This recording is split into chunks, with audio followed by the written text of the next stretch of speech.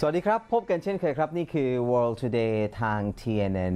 24 World Today Weekend ผมวารินสัจเดียวนะครับ จากเสาร์นี้เป็นต้นไปจนถึง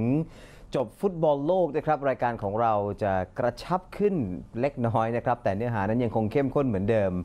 จะพบกันสั้นลงนะครับ ประมาณครึ่งชั่วโมง แต่วิทยากรของเรายังอยู่ครบนะครับ วันนี้กับรองศาสตราจารย์ ดร ชัยชนะ อิงควัตอุปนายกสมาคม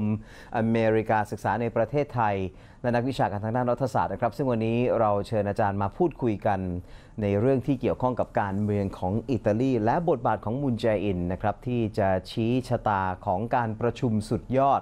ระหว่างโดนัลด์ทรัมป์และคิมจองอึนผู้นำสหรัฐและผู้นำเกาหลีเหนือ ซึ่งจนถึงวันนี้ก็ยังสามารถพูดได้เต็มปากนะครับ ว่าอาจจะเกิดขึ้นหรืออาจจะไม่เกิดขึ้นก็ได้ ในวันที่ 12 มิถุนายนตามอารมณ์ และตามคารม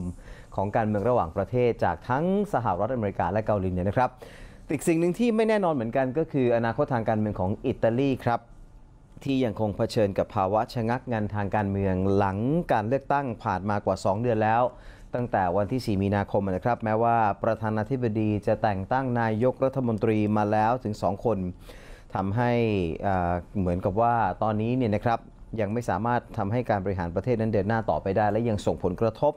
ต่อเศรษฐกิจของสหภาพยุโรปด้วยเช่นเดียวกันนะครับอิตาลีนั้นเป็นหนึ่งในฟ o u เดอร์หรือว่าผู้ก่อตั้งสหภาพยุโรปด้วยนะครับนั่นก็เป็นสิ่งหนึ่งที่อาจจะเป็นอุปสรรคในการจัดตั้งรัฐบาลในครั้งนี้ กับมุมมองของพรรคการเมืองที่มีไม่ตรงกันในเรื่องของสกุลเงินยูโร ว่าคิดว่าน่าจะมีมากกว่าสกุลเงินยูโร ในการบริหารประเทศนะครับ เราไปติดตามรายละเอียดของเรื่องราวนี้กันก่อนนะครับ กับความไม่แน่นอนทางการเมืองของอิตาลีจากรายงานชิ้นนี้ และเดี๋ยวกลับมาพูดคุยกันฟังมุมมองของนักวิชาการไทยกับอาจารย์ชัยชนะกันครับ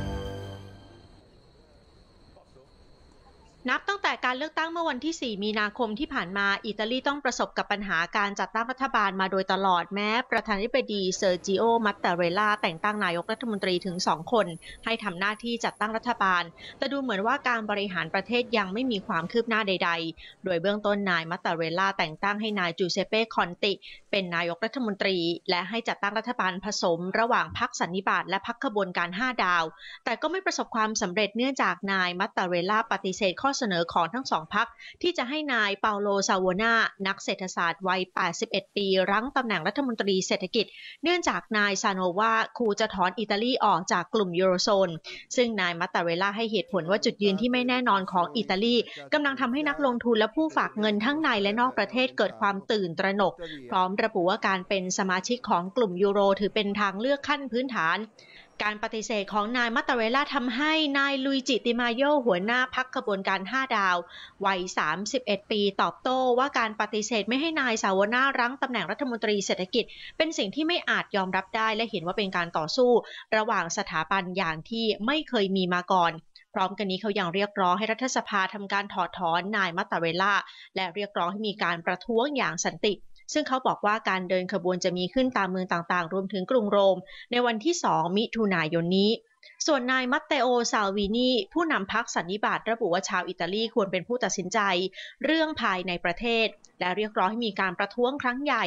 หากไม่มีการจัดการเลือกตั้งก่อนกำหนดขึ้น รวมทั้งกล่าวหาเบลเยียมและเยอรมนีว่าก้าวไก่กิจการของอิตาลีด้วย ความล้มเหลวในการจัดตั้งรัฐบาลผสมทำให้นายคอนติยื่นใบลาออกจากตำแหน่งนายกรัฐมนตรี ขณะที่ตลาดการเงินก็มีปฏิกิริยาในเชิงลบต่อการจัดตั้งรัฐบาลผสมของเขาเช่นเดียวกัน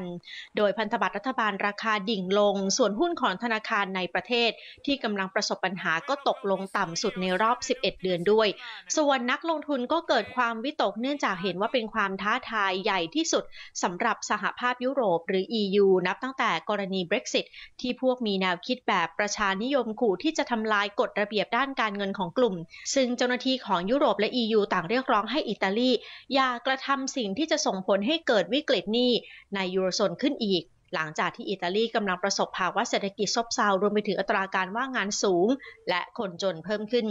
ด้านนายมัตตาเรล่าแก้ปัญหาด้วยการแต่งตั้งนายคาโลกอตตาเรลี่วัย 64 ปี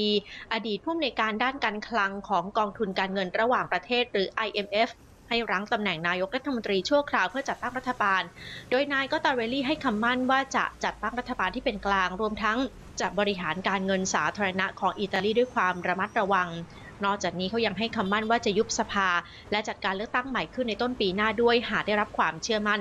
แต่หลังได้รับการแต่งตั้งเพียงแค่วันเดียวบรรดาพักการเมืองหลักกลับไม่ให้การสนับสนุนนายกอตตาเรลลี่ ในการจัดตั้งรัฐบาล และมีโอกาสที่นายมัตตาเรล่าอาจยุบสภา ในอีกไม่กี่วันข้างหน้าซึ่งจะทำให้อิตาลีต้องกลับไปสู่การเลือกตั้งอีกครั้งอย่างเร็วที่สุดในวันที่ 29 กรกฎาคมนี้ ความวุ่นวายทางการเมืองของอิตาลีส่งผลให้ตลาดการเงินเกิดความปั่นป่วน และอิตาลียังเจอกับแรงเทขายในตลาดเงินครั้งใหญ่สุดในรอบหลายปี ท่ามกลางความหวาดกลัวของนักลงทุนว่าการเลือกตั้งจะส่งผลให้เกิดกระแสต่อต้านสถาบัน จากนักการเมืองที่ต่อต้านยุโรป ซึ่งก็สร้างความเคลือบแคลงสงสัยต่ออนาคตของอิตาลีในยูโรโซนด้วย